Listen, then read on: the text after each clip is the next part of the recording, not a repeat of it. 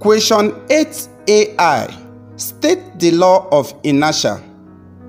8AII Use the law stated in 8AI to explain how wearing a safety belt in a moving vehicle could reduce the possibilities of severe injuries when the vehicle is involved in a collision.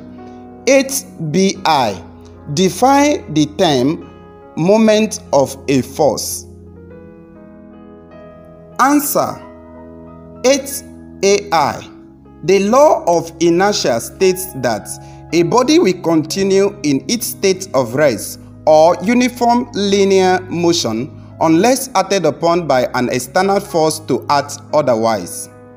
8AII From the law of inertia, otherwise known as Newton's first law, when a vehicle comes to a quick stop, the person in the vehicle won't stop moving unless an external force comes in. It is the seat belt that will provide the force required to stop the person from being in motion, which could have resulted in severe injuries. 8bi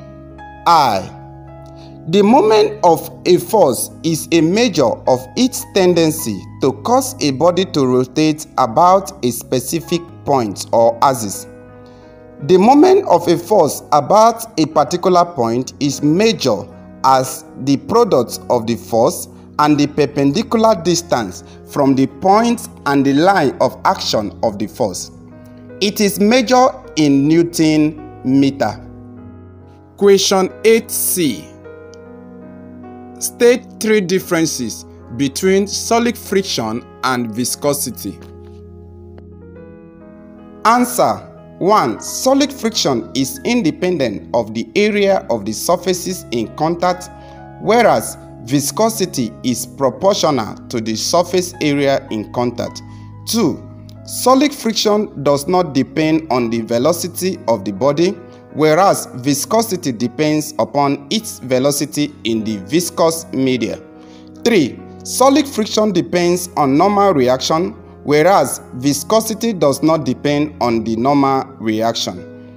4. Solid friction occurs on solid surfaces, whereas viscosity occurs within fluids. 5. Solid friction is independent of temperature, whereas viscosity depends on the temperature. So you can choose any three of these as your answers. Question 8D State one method of increasing the velocity ratio of a pulley system. Answer The velocity ratio of a pulley system can be increased by increasing the number of pulleys.